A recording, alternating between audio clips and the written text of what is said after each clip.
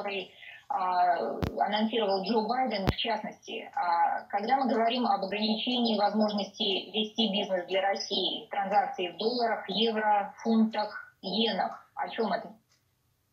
Надо смотреть детали, потому что президент сказал, что он хочет соединить пять крупнейших российских банков, ну, одних из крупнейших, а от операций в этих валютах, надо понять, каким образом это будет обеспечено.